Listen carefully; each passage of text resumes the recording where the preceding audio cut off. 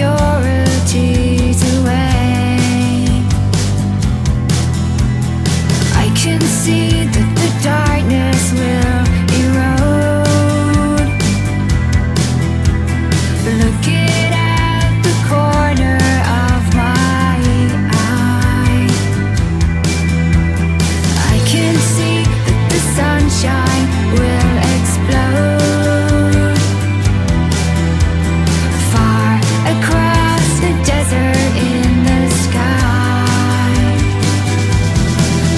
forget.